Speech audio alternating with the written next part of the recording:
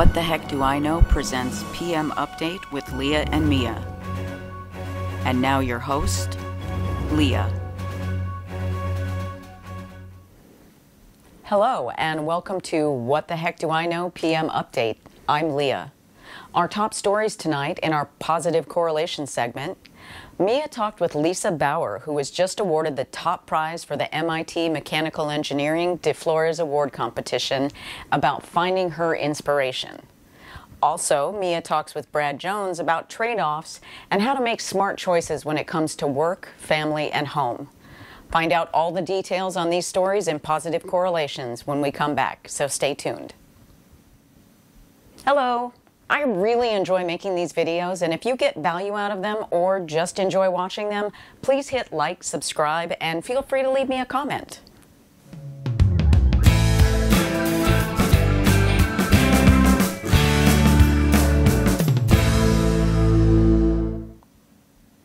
Welcome back. In our top story tonight, Mia met with Lisa Bauer recently to talk to her about her $20,000 engineering award and what inspired her to go into mechanical engineering and win this prestigious prize. Mia, please tell us more about this amazing woman. Well, Leah, I can certainly tell you she is an amazing woman. When I asked her about her inspiration, her answer started with a simple no. Lisa explains that she grew up in a small town with a single mother and a younger brother. There was never much money for extras, but they got by. The one constant in her young life was the word no. It was either no, you can't have that, or no, you can't do that, or looking at the lives of people around her and saying, no, that isn't what I want for myself, or no, I'm going to do things differently. The biggest no in her early life came just before she started high school. She asked her mom if she got accepted into MIT, would she be able to go? When Lisa heard that no, it broke her heart. She had always been interested in working with her hands and building things, and that no was for a moment the end of her dream to study at her dream school MIT. She recalls being really sad about it for about a week and then realizing that other people's limitations were not hers. Lisa's inspiration was to prove to those around her that she could do and have what others said she couldn't, and make the kinds of choices that would take her life in a different direction. On her first day of high school, she scheduled a meeting with her guidance counselor about her goals. Her counselor thought it was a lofty goal, but with proper planning, she was capable. He also informed her that MIT does not consider finances when accepting students into their programs, and if she does get in, given her family's low income, she would likely receive a scholarship. They planned out the courses she would need to take, the grades she would need, activities that would be helpful, and when she mentioned signing up for a couple of college classes at the local university, he explained the process and provided the forms for her to sign up agreeing to provide a recommendation for her if it was needed. They also set up future meetings every two to four weeks to review her progress. The rest was up to Lisa. She studied hard, often missing out on social events, but the thought of being able to tell herself yes when everyone else said no kept her going. She joined the local robotics club and did mechanical experiments for the science fair every year and even managed to place first in her state in her junior year. Lisa managed a 780 on the math portion of the SAT, but even with all the hard work, it still wasn't certain that she would be accepted. Lisa knows she was really lucky even with all the hard work she put in, and very grateful to the few people who did encourage her and helped her build a plan that got her to her ultimate goal. Lisa is currently pursuing a master's degree and hasn't decided whether or not she will go for PhD, but recommends to all young women who are interested in mechanical engineering to tell themselves yes, no matter how many people tell them no.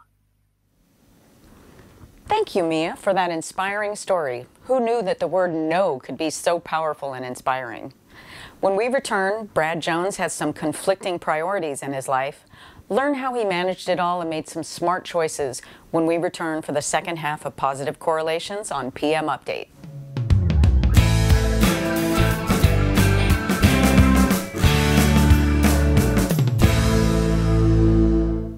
Our trade off story tonight starts in the suburb of the city. It's the story of Brad Jones, but it could be about any one of you on any given night of the week.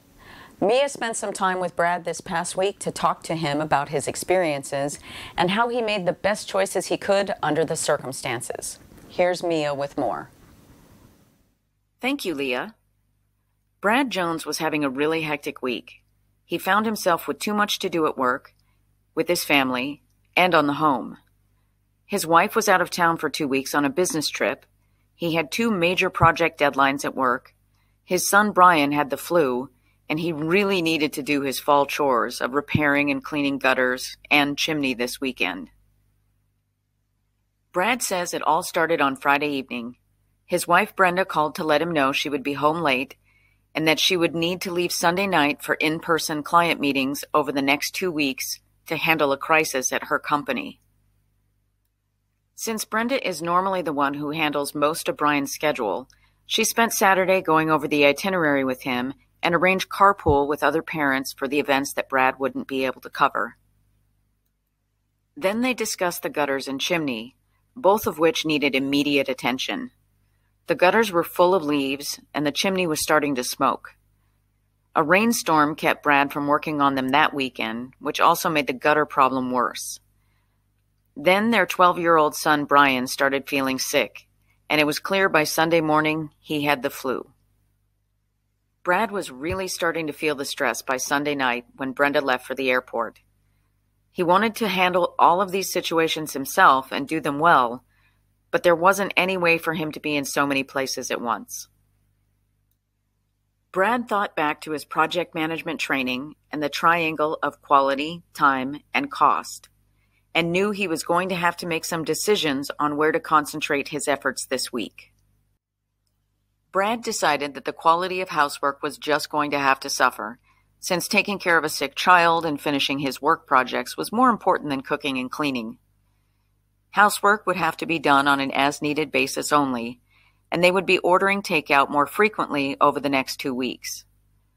Food and cleanliness quality would go down, as well as time spent on these activities, while costs increased. But it was worth it to make sure Brian was being taken care of and his work projects would not suffer. He also called a handyman service to take care of the gutters and chimney. He scheduled them to come out to the house before the end of the week to take care of these items. In this case, quality of work goes up along with the cost, but once again, it is a decrease in the amount of time Brad has to spend on these things. Monday morning, Brad spoke to his boss about the problems at home and made a proposal for pushing back one of his two deadlines. Brad came up with an idea to improve the results they would provide to one of their clients and asked his boss to approve the additional work and to make the proposal to the client to see if they would agree to the exchange for a two week extension on the project deadline. In this situation, quality and time are going up for the client, and cost will go up for Brad's company, so the whole triangle is getting larger. Brad's boss agreed, and so did the client, so everything was set.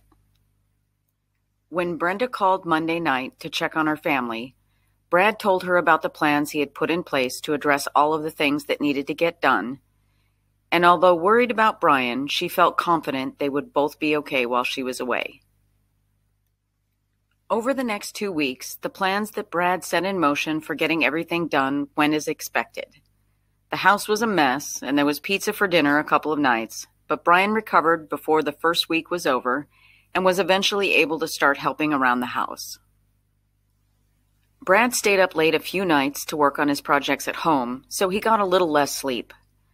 The handyman did a great job on the gutters and chimney, and even though it cost more than it would have if Brad was doing these things by himself, it was one less thing he and Brenda had to worry about. Brad managed to finish one of his two projects on time at work, and eventually, when he was able to finish the extended project, the client was thrilled with the results. Brad's boss appreciated that he was honest about his conflicting priorities and instead of providing a lower quality product, was able to make the client happier even if it did cost the company a little more. Brad was thankful his project management training helped him quickly realize what his options were and put positive plans into action early on. He says that understanding the quality time cost triangle really puts things into perspective and allows you to make informed choices when your plans need to change. Thank you for that story, Mia. What a great example of using project management training in everyday life. Change is inevitable, and being able to roll with it is a valuable skill. That's all for PM Update with Leah and Mia and our positive correlation segment for this week. Thank you for watching and see you next time on What the Heck Do I Know and our next episode of PM Update. Good night. Hey there. Don't forget to hit like and subscribe. I also love seeing comments too.